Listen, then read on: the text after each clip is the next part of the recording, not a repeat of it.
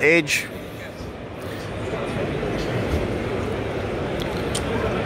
Righto. Looks like they've got their Solar Edge lithium all-in-one box here, coming soon. Here's their inverter with a separate isolator switch. It's a bit weird. They always go with optimizers, this uh, company.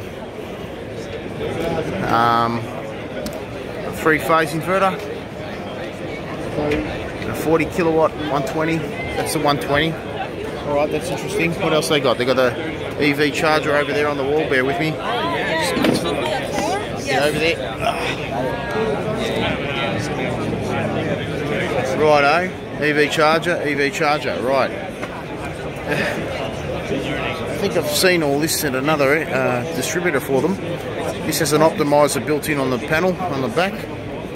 Uh, what else have we got here? A massive solar edge battery coming soon, single phase. Looks like it's got a very large capacity and its own battery management system and uh, circuit protection.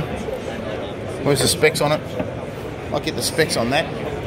It'd be a lot easier if they just printed it on the wall, but anyway. Haven't got time to watch this video.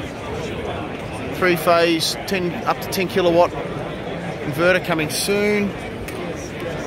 Optimizer single phase inverter with a HD wave technology. Better look that up, but obviously it's uh, designed to make the inverter run more efficiently and more compact. So, a few accessories uh, and a hot water box. They're all doing it now. That seems to be the common feature at this show.